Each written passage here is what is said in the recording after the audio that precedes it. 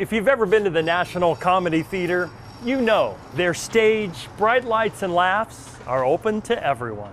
Hello, everyone. My name is Carson Doyle Wehlage. When the Autism's Got Talent competition took center stage, What do you call uh, an elderly snowman? Water. 18 year old Carson Doyle Wehlage disabled his disability with laughter. Parallel lines have uh, so much in common. It's a shame they'll never meet.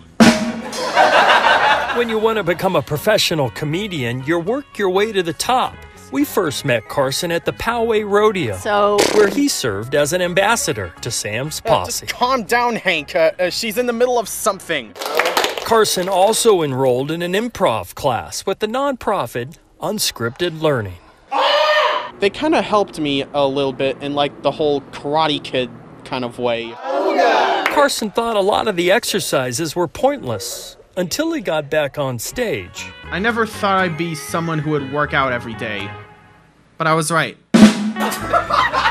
Basically, uh, uh, these two guys are like the Mr. Miyagi of uh, of myself. There can only be one Mr. Miyagi, so we asked Gary Kramer, a professional comedian, and Richie Plesh, a board certified behavioral analyst, who made Carson's delivery so deadly. Gary taught me how to be funny. I'll give him credit for that.